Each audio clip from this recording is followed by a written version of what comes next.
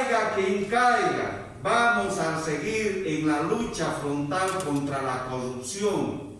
Y obviamente que nadie salga a defender a esta gente que se ha embolsillado ilegalmente recursos económicos que pertenecen a cada uno de los bolivianos. Más aún, cuando ya se ha presentado legalmente y muestro para que nadie pueda tergiversar la denuncia formal contra estas personas, aquí en Bolivia como también en el Perú. Recalco nuevamente, el Ministerio de Obras Públicas y todas sus descentralizadas estamos luchando de frente contra la lucha contra la corrupción. Ministro, buenos días. ¿Qué tipo de servicios habrían pagado con este monto denunciadas eh?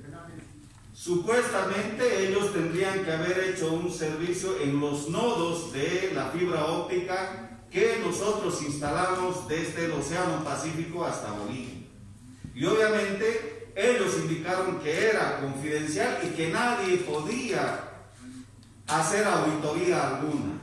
Hemos realizado estas auditorías, estas, estos primeros avances de eh, la fiscalización que corresponde y por lo tanto ahora, teniendo la base fundamentada, los documentos necesarios, estamos haciendo la acusación a todas aquellas personas que habían participado en estos actos ilícitos de corrupción. Son principalmente el señor Arias, el señor Edith y la señora Carola. Quiero recalcar, es en la gestión del ex ministro Iván Arias y en la gestión del señor eh, José Luis Franco, de Luis Franco.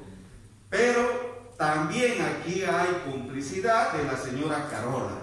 Por eso estoy dando nombres y apellidos para que todos puedan ir ahora ante la justicia y decirnos qué han hecho con esos 390 mil dólares norteamericanos.